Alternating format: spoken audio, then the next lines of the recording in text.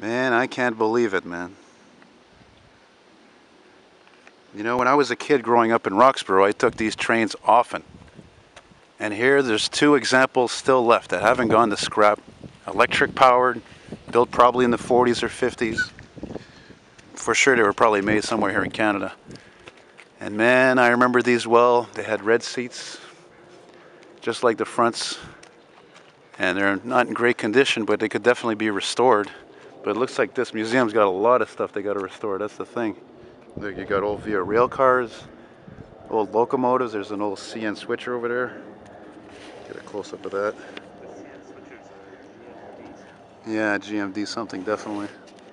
And then of course on the other end of the scale you had these regular passenger cars, which of course were for long distance. And then you got an old VF unit there. Man, this is amazing for me, man. This ça me ramène des souvenirs. It brings back memories, man. Jesus, of going downtown, coming from downtown, and everything squeaking. Rattle, rattle, rattle. It was really incredible. And I would love to be able to get a peek inside of this, you know? See what they look like still. Incredible. Look at all the, the, the electric, look at all the duct tape they put on the roof because they're leaking. Oh man, that means the insides can't be too good. Shit. Get the view of the front of it there. Yeah, they would run every hour.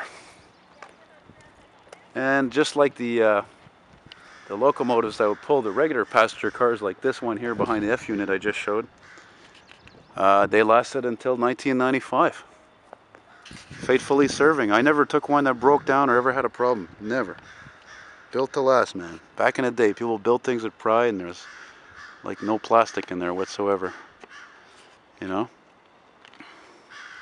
Yeah, that's something.